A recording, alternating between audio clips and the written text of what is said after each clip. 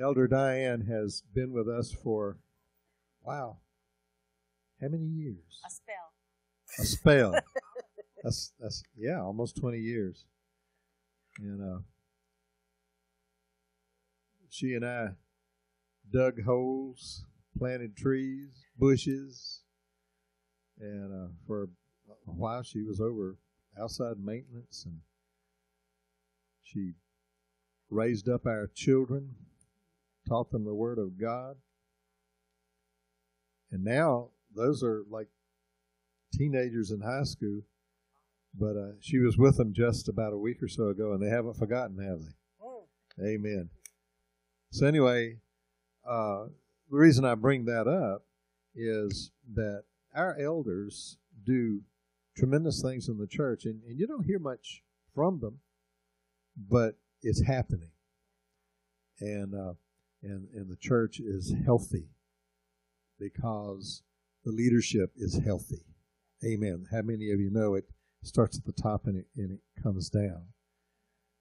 And so this morning, uh, Elder Diane has a, a, special word for the congregation. She let me know about a week ago that she did. I'm excited about it because it's always good, it's always edifying, it always builds us up.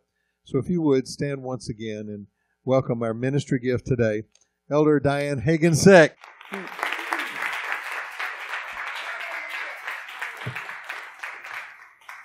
Thank you. You can have a seat.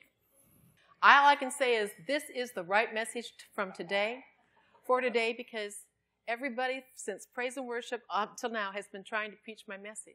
Oh, so they've all been hearing. They all heard from the from the Lord correctly. Hallelujah! It's a glorious day. It's a wonderful day. It's a day the Lord has made, and we will rejoice and be glad in it. I thank you, Pastor, for allowing me to be in your in your pulpit and, and bring a word forth because it's an honor and it's a mighty responsibility, and I don't take it lightly. So before we start, let's pray. I will bless the Lord at all times, and his praise will continually be in my mouth. Lord, I, pray, I praise you, I exalt you, I magnify your name, I declare that you are my most high God. And I thank you, Lord, that your word says that you use us to minister your word. So, Father, I ask you now to make sure that I am ministering your word the way you want it said, the way you want it delivered. And Holy Spirit, you prompt me to delete or to add what you feel necessary as I go along. Father, I thank you that this is a word in due season that you've given to me, that the ears are open and the minds are clear, and it will be planted deep into the heart's fertile soil into all that hear it. And above all, I give you the praise and the glory and the honor because this is not my message, but it is your message, Father, that you're bringing through me. So I just thank you. I give you praise in the mighty name of Jesus, and it's through his blood that we all said, Amen. Amen. All right, the name of my message or the title is Who Can Stop the Rain? There's a quick little story that I'm going to preface all this, and that is when I was sequestered quarantine actually when I had the flu in April. I was sitting in my chair, and I have my chair in my living room is my prayer chair. Because I look out my French doors, I got my birds here, I got my little whirly thingy there, and over in the distance are these tall Carolina pines, and the wind's blowing through the trees. And I just, when I see the wind blow, I know it's the wind, but my heart says, that's my God. So that's how, when I sit there, that's what goes through me. Well, that happened to be a Wednesday night. There was a storm rolling in, and everybody in the media is saying, stay home, do not leave your house. The winds are high, the water's going to come up, it's going to rain, don't leave your house. So I'm sitting there, I'm watching it, and this voice says to me, Who can stop the rain? Who can stop the rain? Who can stop the rain? And it wasn't once, it was like a two year old. God's not a two year old, but that's what it was like. Mommy, mommy. It was, who can stop the rain? Who can stop the rain? And I finally said, Lord, I can stop the rain. I can speak to that storm. I can stop the rain. And the voice went away, and I thought, well, I got it right. so I'm like, okay. The next day, I'm sitting there, and I'm not even doing anything spiritual. I'm just sitting in my chair. And this voice starts again Who can stop the rain? Who can stop the rain? Who can stop the rain, Diane? Who can stop the rain? And it went on and it went on and it went on. And I'm like, well, what kind of rain are you talking about? Are you talking about physical rain? Are you talking about Holy Spirit rain? Are you talking about blessings from heaven rain? The rain of a king? What kind of rain, Lord? And it just kept going, who can stop the rain? Who can stop the rain? And I got to the point that I was almost crying. And I said, Lord, I don't know the answer. I don't know the answer. Show me what you want me to know. So if you want to know what the Lord wants you to know, you pull out your Bible, you sit down, and you wait. So that's what I did. So I pulled out my Bible and I sat down and I waited. And he gave me my answer. Well, when he gave me first was, was bugging me, encouraging me. I had texted Elder Darlene and I said, The Lord keeps asking me who can stop the rain.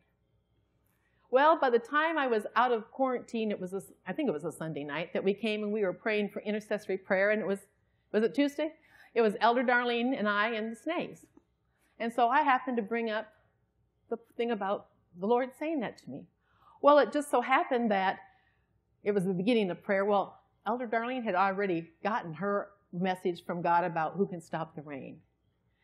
And as we were going along praying, Donald got his message from the Lord about who can stop the rain because it's personal for each of us. And I would come to church and I'd ask different people, who can stop the rain? And you know, sometimes we have automated responses that we really don't think about. Because if I say God is good, you're going to say, and if I say all the time, you're going to say, but you haven't meditated on that. You don't, you're just saying a natural little response that we've been sort of conditioned to say without really thinking about it. So I'd ask people who can stop the rain, and everybody'd say, Well, I can. And then I'd look at you all and I'd say, Y'all need to meditate on that because there's something hidden in that. So, this is what he shared with me, and I'm going to bring it to you. And I'm going to take you on a little journey that you're probably going to think, How is this all fitting together? But trust me, it will. So, the first thing I did was I pulled out my Bible and he referred, he told me that we can stop the rain, meaning the blessings of the Lord and actually the movement of the Holy Spirit, because a lot of times they're intertwined. Because we don't know who we are, we don't practice who we are, and we don't speak who we are. We don't use the authority that God has placed in us. So he took me to Matthew 5 45. And the section that I want to pull out of that is God rains on the just and the unjust alike.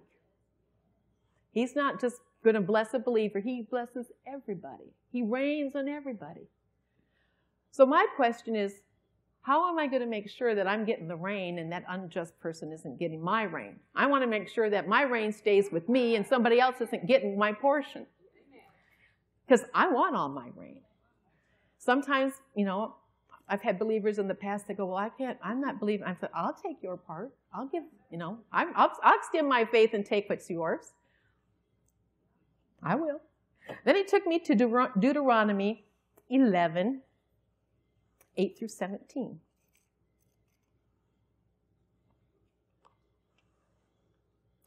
And basically, and I'm going to paraphrase some of this for time. But it starts out, therefore be careful to obey every command I'm giving you today, so you may have the strength to go in and take over the land you're about to enter. He was talking to the Israelites. They were getting prepared to go across the Jordan River into the, prom- the promised land.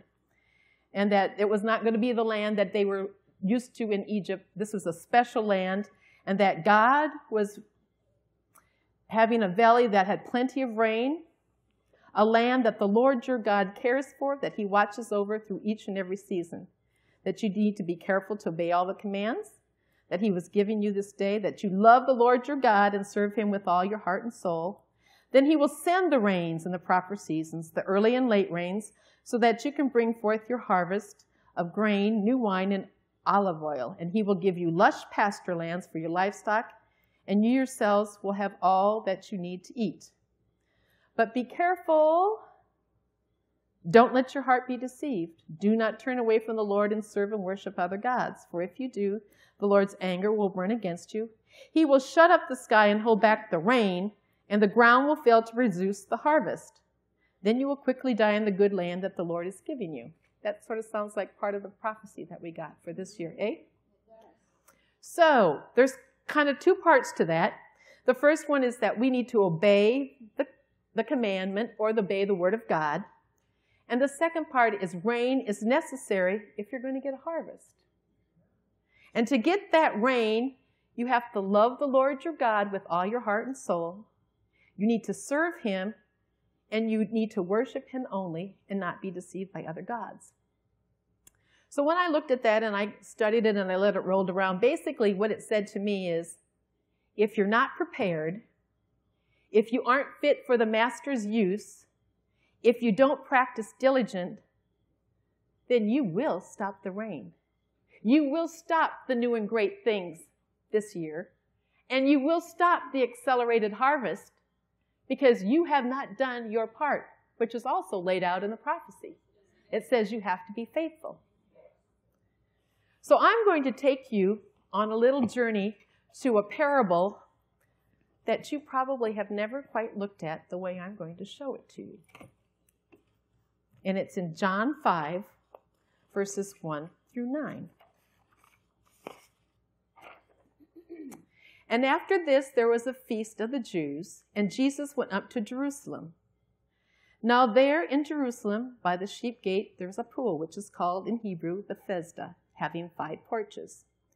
In these lay a great multitude of sick people, blind, lame, paralyzed, waiting for the moving of the water. For an angel went down at a certain time into the pool, stirred up the water. Then whosoever stepped in first, after the stirring, was made well by whatever diseases he had. Now there was a certain man there who had an infirmity 38 years. When Jesus saw him lying there and knew he had already been in that condition a long time, he said to him, Do you want to be made well? And the man answered him, Sir, I have no one to put me in the pool when the rain comes, or excuse me, when the water is stirred up. But while I'm coming, another steps down before me. And Jesus said to him, Rise, take up your bed and walk. And immediately the man was made well, took up his bed, and he walked. And that day was the Sabbath. Now, prior to Jesus arriving in Jerusalem, he had already been performing miracles. He'd already turned water into wine. He'd already turned um, the meal with the fishes and the loaves and fed all those people. So his fame had gone before him. But the interesting thing about this, if you read all the way to the end, this man had not heard a thing about Jesus. He did not know who Jesus was. Because at the end of the story, the, the Pharisee said, Well, who healed you? He goes, I don't know. Some man came up to me and told me something. He had no clue who had spoken to him. The other thing about this verse in the beginning is that the water in Bethesda could not heal if it was still. It had to be stirred up, it had to be troubled. Which kind of tells me that sometimes we need to come to this church, we need to hear a message that will stir us up and shake us up a little bit in order for us to make changes in our lives. If Pastor Mike gets up here and all he preaches is friendly, user friendly messages and he doesn't challenge us with the word, we're all going to stay the same. We're never going to grow. He's got to speak the word to us if we're going to grow and mature. As Brother Adonis tells us, we need to expand our capacity. Well, we can't do that with a little bit of resistance or a little bit of something. If you're going to expand and grow, there's going to be some resistance that's going to come against you that you have to use and flex some muscles, flex some faith to have that happen. Amen? So here's this man 38 years he's lying on this mat. He's sitting. He's waiting. He's watching. He's sitting. He's waiting. He's watching. He might hope here and there, but he's sitting. He's waiting and he's watching. Now, if that were me, I can tell you right now, I'd be halfway off that edge of that pool ready to flop in the minute that water started. But here's this man. He's just laying there. Number one, he had no longer, he no longer had any interest in making changes to his own mat, his circumstance, his circumference, aka his life. He was no longer interested in that. He had begun to focus all of his attention on wanting somebody else to come and make something happen for him. In each of us, there needs to come a time in our lives, especially, I'm talking spiritual life, but it can also be your just natural life, that we need to make the decision to make a change. Other people, they can't make that happen for you.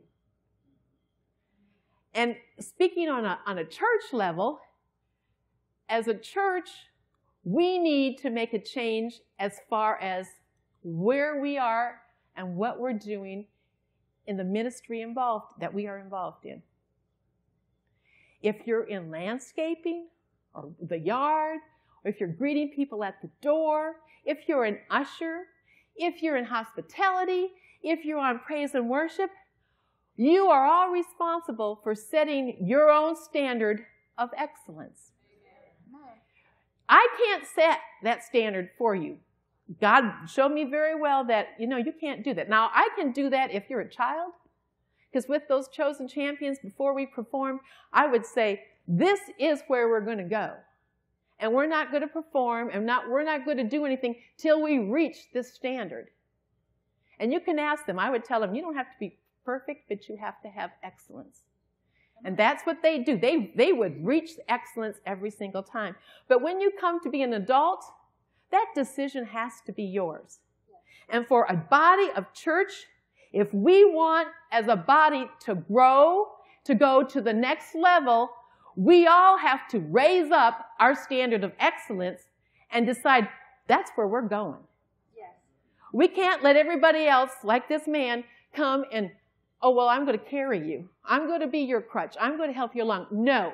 We all have to step up into what is our responsibility, be adults, and say, this is what I'm going to do. Now, uh, like I said, I can't, I can do that to a child, but I can't do that to somebody else. So we look at this, and here's Jesus, and he walks in, and of all the people sitting around this pool, he focuses on one man. We don't know why he focused on that one man. We don't know if he healed anybody else but that one man. But he looks at this one man and he says to him, Do you want to be healed? Now I read this and I'm thinking, Well, duh. He's been laying there for 38 years. Of course he wants to be healed. But you know, God doesn't put ask stupid questions. There's a reason behind this. It'd be like me saying to someone who has cancer, do you want to be healed? Or if you've been, you know, drug challenges, do you want to be clean? We're all going to say, yes, yes. So Jesus says to the man, do you want to be healed? The man dismissed his question. Instead, he gave complaints and excuses. He said, I got nobody. I'm lame. I'm sick. I'm, I'm slow and I'm disabled. I don't have any family. I don't have any friends. The problem with him was his attitude. Think about it. How can you get healed hanging around sick people all the time? You can't. You can't spend 38 years hanging around somebody sick, around the pool. Eh, you don't really ever move because you can't move and you're stuck there. And all you hear from all these hundreds of people is, oh, my back aches, oh, my, you know, all day long, in and out. How can you extend your faith for healing? Just like if you hang around negative people all the time, you're going to get negative. If you hang around somebody depressed, woe is me, you're going to get depressed. If you hang around somebody that gossips and stirs a pot, you're going to turn into a gossiper. That's just the way it is. Birds of a feather. It's true. You need to surround yourself with godly, prayerful men and women who have a vision. A vision that's, I'm moving forward. You need to be around people who talk about stuff that you don't know a thing about because you're going to learn something. You're going to grow. You don't want to be the smartest student in a class. I heard a preacher on TV say that. Because if you're the smartest student in the class, you've outgrown your class. You can't learn. If you meet with people and you're not the designated teacher, but as you're sitting there and you go to a study and you're always the teacher, you need a new circle because you've outgrown that circle. It's like a fish in a pond. When I built my first house, I had this nice little plastic fish pond from Lowe's and little waterfall and, and I went out and got two little goldfish that were an inch long. I threw them into that pond. They grew to about four inches long and then they were hindered by the pond. They couldn't get any bigger. Now some little critter in the neighborhood enjoyed them, but they couldn't get any bigger. went out one morning and they were gone. so somebody enjoyed them. But this man, his companions on the pool, they hindered him from getting his healing. Once again, you can't get healed hanging around with sick people. That's why when Jesus asked him, instead of answering him, yes, he whined about his life. He was living in the, well, as soon as life, and you can't live there. He was, as soon as I get into the water, my problems, they're going to be solved. As soon as someone helps me, I'm going to be healed. As soon as Monday comes, I'm going to start watching what I eat and I'm going to exercise. As soon as my household settles down and those kids aren't running everywhere, I can find time to pray. As soon as I'm not so busy at work, I can spend more time in the Word. As soon as I have more money, I can tithe. Guess what my question to you is? Do you want to be healed? Why wait? Do you want to be healed? But sometimes, maybe you haven't noticed it, but being in the health field, I notice these things. Sick people, there are some people, they love being sick. They thrive on being sick. It gives them something to complain about. It gives them something for other people to focus on them about. Oh, you poor thing, pat, pat, rub, rub. Oh, I'm so sad for you. They live on their own little mat, and everybody else caters to them. They don't want to take the responsibility that comes with the healing or the changes that they're going to have in their life. They're scared. Think about this man. For 38 years, he's laid there, and if he gets healed all of a sudden, he's got to get a job, He's got to start being accountable for things. He's got to learn how to socialize with people that are normal because all he knows is sick people. He doesn't know how to speak a normal conversation because he's never spent time with anybody that's upbeat, has a good thing to say. He's just listened to, oh, woe is me for 38 years. That could be scary. But you know what? We all have the same excuses when it comes to getting blessed by God. Pastor alluded to it, or, or Elder Stan, one or the other, when they said, You read something in the Bible and you think it's too good to be true. Some of us say, God, He can't bless me. I'm in a rotten marriage. That man or that woman, they don't treat me right. How is He going to bless me in a marriage like this? Or if you're a child and your home is broken, you're like, my parents treat me horribly. They kick me out of the house every time you turn around. How can God heal me in a house like that? Or you got a job that you think, you know, everybody there hates me. Those people are wicked. That boss of mine, I can't trust him at all. How is God going to bless me in a situation like that? Or if you've got children and they're not living the way you want them to live. Those heathen kids, I don't know what's going to happen to them they don't treat me right. I'm their mother. How's God going to bless me with that? I would suggest that you all come away from the Walmart complaint counter and you come to the Word of God counter. Because let's see what Jesus did to that situation. Jesus didn't listen to the, I mean, he heard him. He did not acknowledge his response. He looked at that man and he spoke life into him. He said, Rise, take up your mat, and walk. Don't lie there feeling sorry for yourself. Rise, take up your mat, and walk. Jesus didn't lay his hands on him. He didn't anoint him with oil. He didn't put him in the pool. The pool didn't heal him.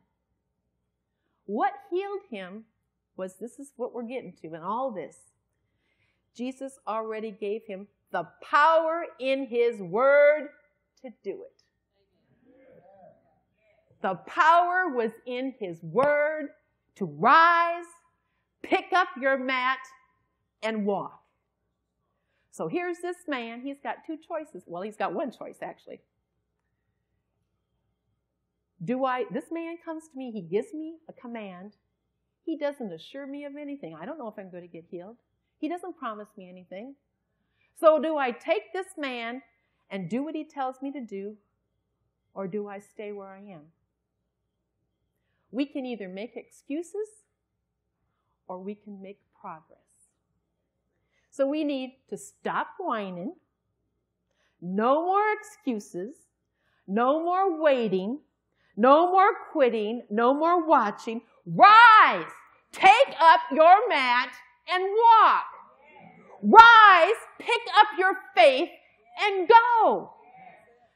Rise, take up, go. You're stronger. The more you walk, the stronger you're going to get. The stronger you're going to get, you're going to get some wisdom. And next thing you know, you're going to be running. So rise, get up off your mat, and walk. And when you go, guess what? Your circumstances will go with you. That's the one thing here. This man, he didn't leave his mat behind him. His circumstances went with him. And the reason for that is because God changes you from the inside out. He doesn't change you from the outside in. So if you're in a situation, you don't like your circumstances, if you are doing what you're supposed to be doing, which is speaking the Word of God, focusing on the Word of God, the power of that Word comes from inside you and it will change your circumstances. So in this case, the man was carrying his circumstances, they weren't carrying him.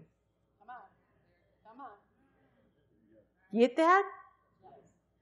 So, how do we change our circumstances? By the power that He gave us in His Word. We are able, as Pastor Mike said Wednesday night, we are able to obtain and receive every provision if we hear it and we believe it. If we believe the Word it builds up our faith to receive, and then we've got it. I'm going to quickly do this. When I was lear- when I was getting this word from the Lord, He took me to Hebrews 11, and when I was um, Hebrews James, come on, and I had never noticed this before.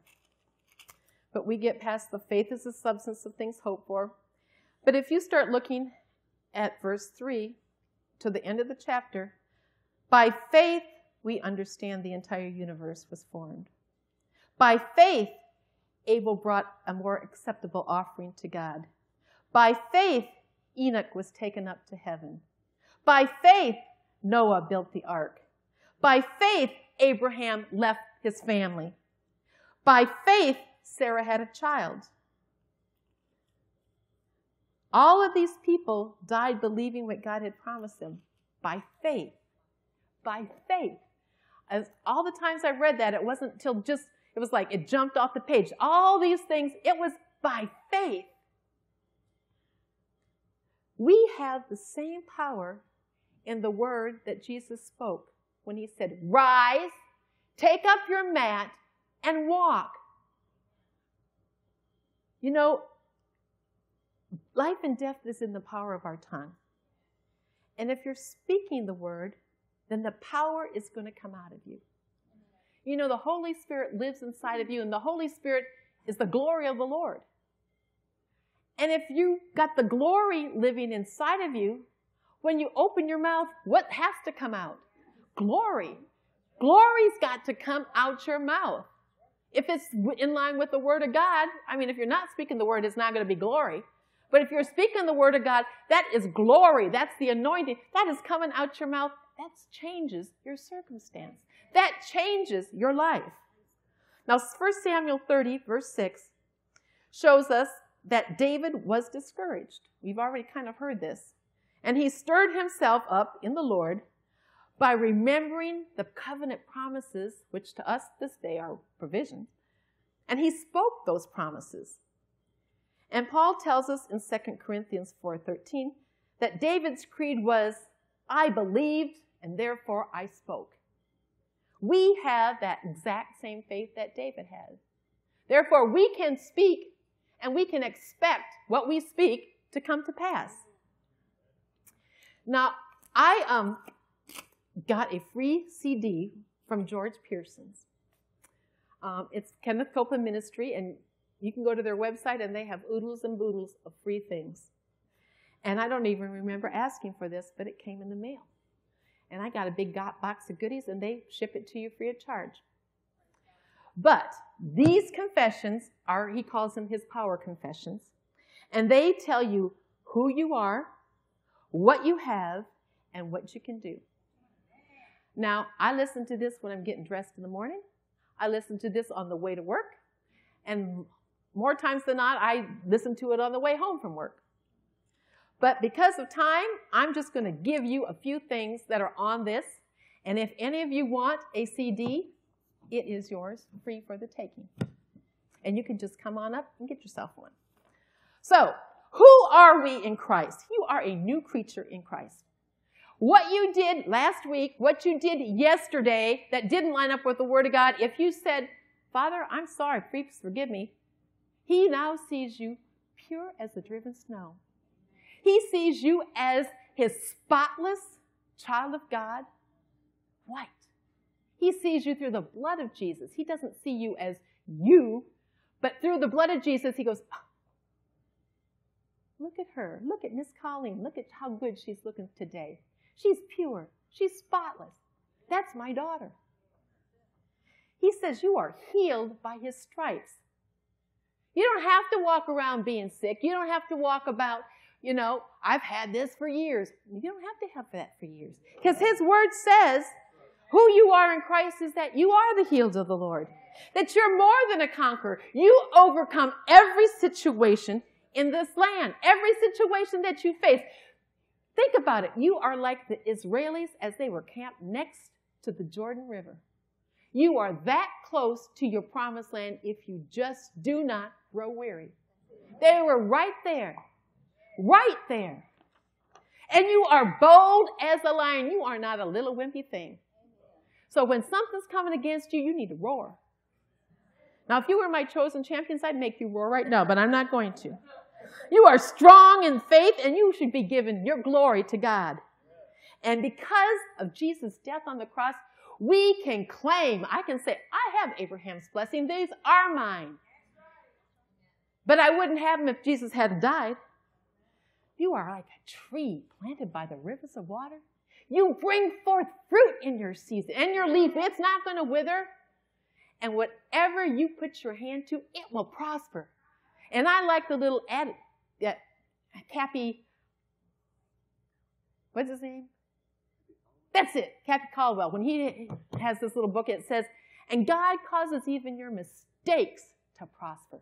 Think about it. When you happen to make the wrong decision about something and you go to him, he's going to say, okay, honey, I'll fix it. Think about that. That's my God. That's my daddy. That's what my daddy does for me. I have the ability, you have the ability to come to the throne of God. You don't have to go to somebody else. Now, if you need, you need an extra person, you go to the pastor and you, but if you're sitting at home and something's coming up against you, and you can't get a hold of pastor, you don't have time, it's, you can say, Father God, I have a problem. I need you. You don't have to wait for somebody else. You can do it on your own. He opened that veil. He said, Come on in. And then He fills you with the peace of God. When you know that you've had your decision, You've got a peace that settles on you that you know that you know. You don't have to sit there and worry and think about it anymore. You just know that you got it. And then joy unspeakable rises up against you, up, inside you, not against you. It might, if you need a little something, something might be against you, but it rises up in you and you're going to have the strength to go on. And more, you've got the love of God. When that person is vexing you, you just got to say, I've got the love of God in me. You've got godly wisdom and the ability to understand that wisdom. Proverbs says that God lays up wisdom for his own. Well, I'm alone, so I got wisdom. You have the tongue of the learned. That means you can speak the word to somebody else if it's in there to be spoken. Just saying. You've got the spirit of power, of love, and a sound mind. Now you can minister God's word. I'm up here today ministering God's word because He gives me the ability to do that. I'm not doing it on my own because I didn't think this up. It was something that came from Him. You are always triumphant in Christ. Doesn't matter what's pushing against you, it's trying to stomp you down. He gives you a platform of victory. We have all heard that, but we, we are victorious. We might kind of stagger like a weeble, if you don't fall down, you're going to be triumphant. You walk by faith, not sometimes. You walk by faith all the time. You can lay hands on the sick and you should expect them to recover. Yes. I work in the recovery room, and I have to tell you that probably at least 50% of my patients are women who have miscarried and have had to have surgery because of that. I get them almost all of the time. And they'll sit there and they'll wake up and they're good, and then they hit that certain point where all of a sudden anesthesia's almost gone, and the reality of the loss and the disappointment that they were hoping for, it hits them, and they start sobbing every time. And I sit there and I hold their hand and I tell them it's going to be okay. And I sit there and I hold their hand. And then eventually the point comes where I can say, Would you like me to pray for you? And not once has anybody ever told me no.